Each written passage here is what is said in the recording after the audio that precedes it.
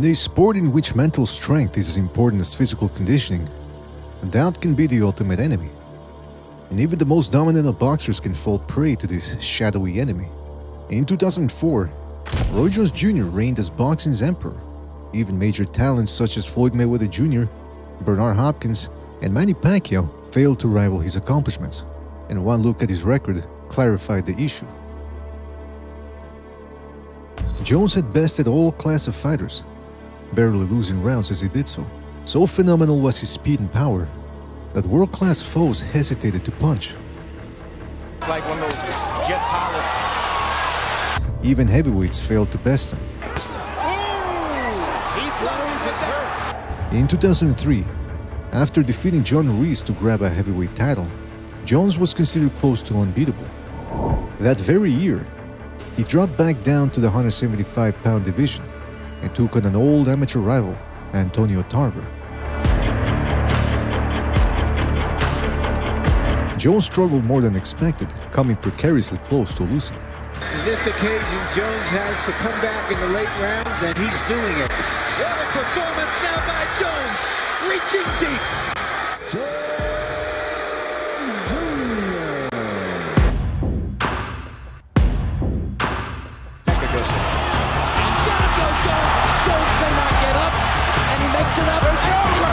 rematch, Tarver shocked the world by knocking the legend out. Jones then took on a journeyman, Glenn Cuff Johnson, and spent the majority of the fight cowering on the ropes before suffering another knockout loss. A year later, and without a tune-up, Jones challenged Tarver again. In the early rounds, the old Jones resurfaced as he dazzled his opponent and the crowd. But then, he stopped punching, and the fight devolved into Jones receding into a shell. He would lose a unanimous decision and later claim that he'd lacked the heart to engage in a war. Honestly, to beat a fight like that sometime, you gotta get down and get gritty and be willing to chase me like Glenn Johnson does. And that's not really my style, you know where I'm from? And so today, we encounter a similar case. Five years ago, Anthony Joshua was considered the next great heavyweight of his generation. Standing at 6 feet and 6 inches tall, the undefeated Brit used every bit of his size to batter his opponent. The buzz, the hype that is building around Anthony Joshua fight by fight just took another big leap forward. In 2017, he stopped the former king, Vladimir Klitschko, in a battle that saw him rise from the canvas. Those days seem long gone. After several high-profile wins, the intent was to pit Joshua with another undefeated puncher, the American Deontay Wilder. But when the Brit's fight with Jarrell Miller fell apart, he fought the late replacement, Andy Ruiz. Fighting abroad in the USA, Joshua intended to put on a show, and early on, he delivered. Ruiz mixes it up. Good uppercut and a hook. Oh, puts Ruiz down. But Joshua underestimated his opponent's ability.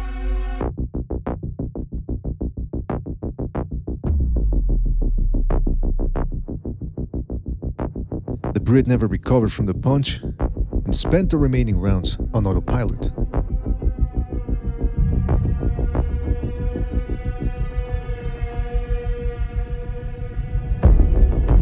We just haven't seen a fully engaged Anthony Joshua showing the normal volume. Then, Ruiz struck.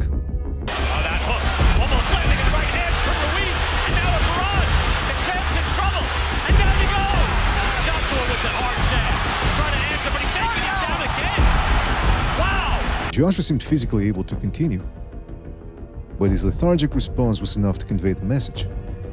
He'd had enough. Joshua sought an immediate rematch. During the build-up, Joshua said all the right things. If that was the case, I would have never been here now if I would have been defined by my losses previously. And if I let the loss on June 1st define me, who knows what the next 10 years of my boxing career can go on to be. He entered the fight lighter than his first fight, denoting his hard work.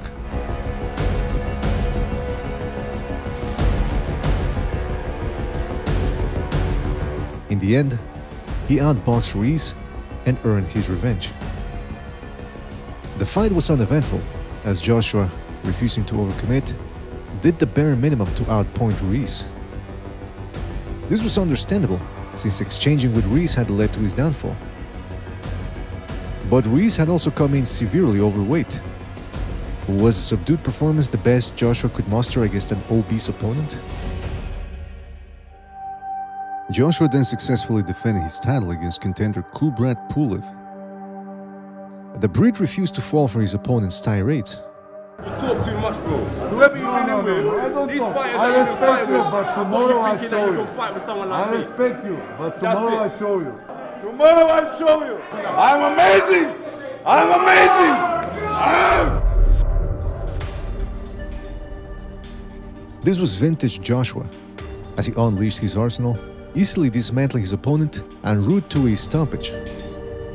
He then fought the former cruiserweight champion, the undefeated Alexander Usyk. Usyk was a smaller fighter, and even at cruiserweight, he'd failed to score many stoppages. Thus, many spectators expected Joshua to trample the Ukrainian. But what Usyk lacked in size, he made up with skill and speed. Joshua tried outboxing the boxer, a mistake which cost him dearly, as Usyk, always one step ahead, outpointed him and route to a unanimous decision win. Like most high-profile boxers of the past, Joshua switched trainers, a tacit way of declaring that the loss had not been his fault. Joshua recruited Robert Garcia, a trainer renowned for offensive-minded boxers. Usyk and Joshua rematched in 2022. This time, Joshua performed better, seemingly calmer, while investing to the body. But Usyk refused to concede and scored another victory. Since then, Joshua has scored two wins in 2023, but his performances, as well as his behavior, have been puzzling. After the Usyk defeat, Joshua exploded in a tirade of inanities and excuses. If you knew my story, you would understand the passion. I ain't no amateur boxer from five years old that was an elite prospect from a youth, bro. I'm not a 12 round fighter. Look at me. I'm a new breed of heavyweights. All them heavyweights, Mike Tyson, Sonny Liston, Jack Dempsey. Oh, yeah, you don't throw combinations like Rocky Marciano. Because I ain't 14 stone, that's why. He also engaged in minor scuffles. Keep it professional. What? Who you talking to? Who you talking to? Then, he switched trainers again, this time employing the services of Derrick James.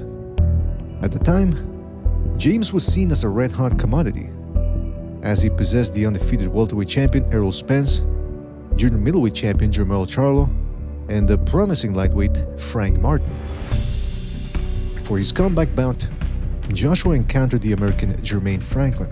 Franklin had come off a highly competitive defeat to veteran Dillian Whyte.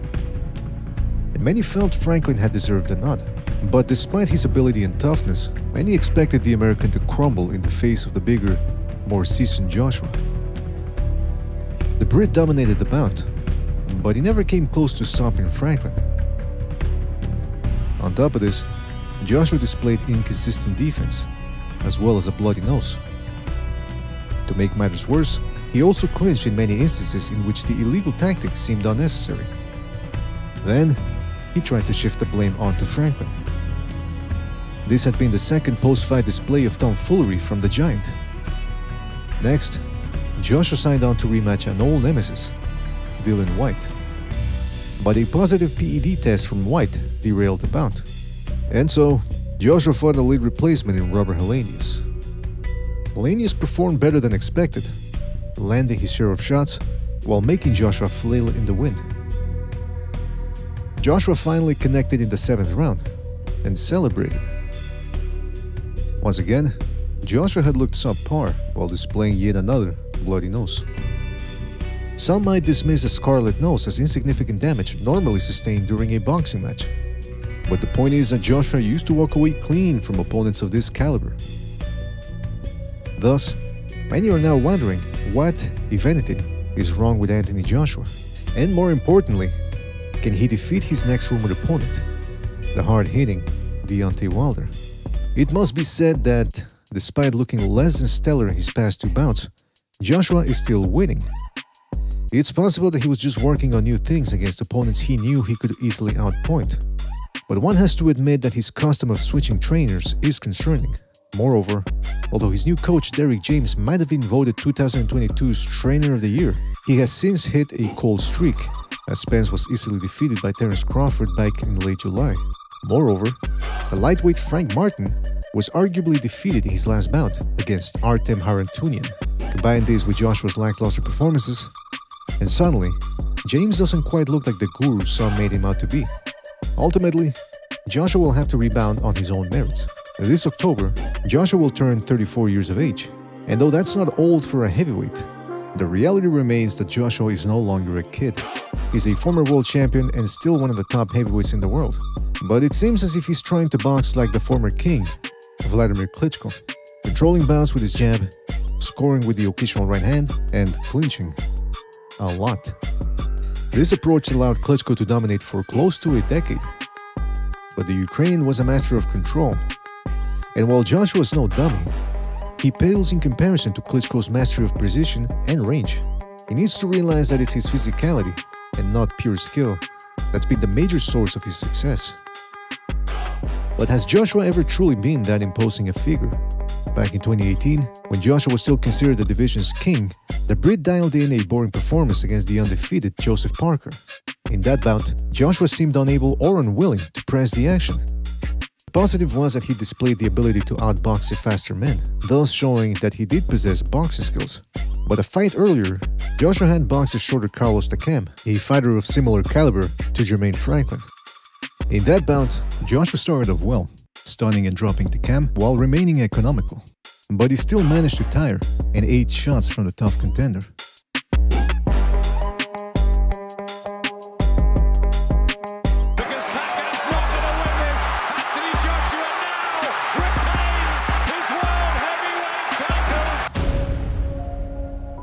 The stoppage was widely criticized, to the point where Joshua had to address it. Listen, I come to fight.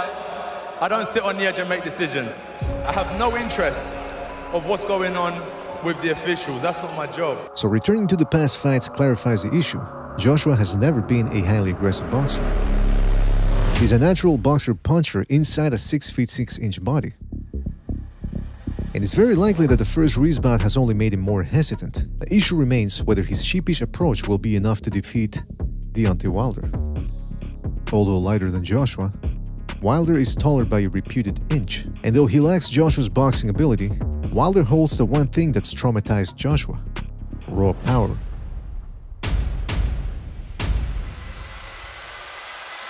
This is where Joshua's hesitancy could cost him defeat. Staying outside and patiently trying to outbox Wilder gives the American the range to land his bomb. Many opponents, including the undefeated Tyson Fury, have discovered that it's easy to outbox Wilder, but the best approach is to pressure the American. Because the reality is that a big right hand is all that Wilder possesses. His lack of equilibrium, a consequence stemming partly from lack of competent trainers, has seen him stumble across the ring. His awful technique has resulted in subpar defense, which consists of using his height to lean away from shots. This lack of technique fails to provide him with confidence. And so, he spends most rounds jittery and thus burning through fuel. Bad positioning also prevents him from sending his feet to counter, unless his opponents barge in wildly and unprotected.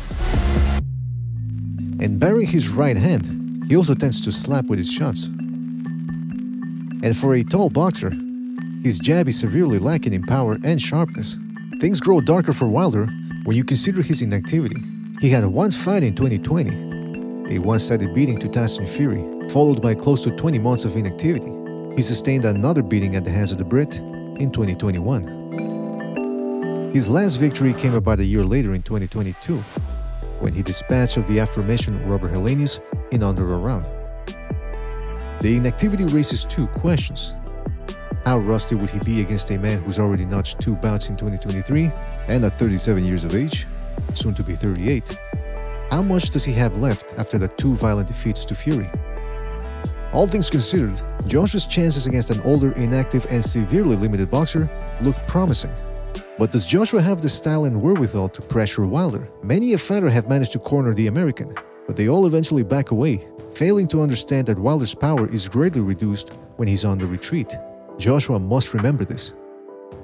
On top of this, Wilder's victim, Robert Helenius, was also his sparring partner.